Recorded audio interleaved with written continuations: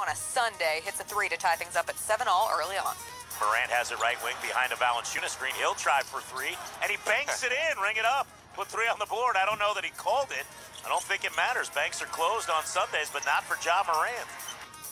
Both teams scoring well in the first quarter. De'Anthony Melton was the first off the bench today. Ja Morant throws the lob in transition. Melton lays it off the glass to put the Grizzlies on top, 17-16. Tries to feed across the lane. Brooks got a piece of it, grabbed by Anderson. Up ahead, Morant. Morant lobs for Melton.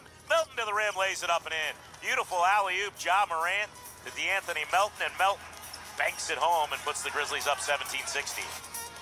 Grizzlies would lead by three after one, a 31-28 lead. Six Grizzlies had four or more points in that first frame, led by Ja Morant with five. The Thunder went 10 10 from the free throw line to keep them in the game. Kyle Anderson with a strong offensive board and putback shot to pull the Grizzlies within three, down 43-40 in the second.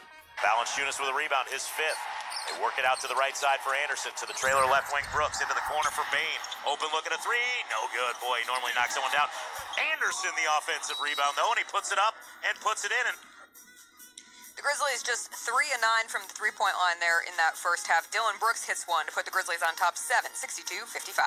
Rebounded by Morant. Here come the Grizz looking for a two for one. 30 seconds remain in the half. Morant bounces left corner. Brooks rhythm three on the way. There Bring it it, is. up. There it Put is. three on the board. Nice push ahead by Morant.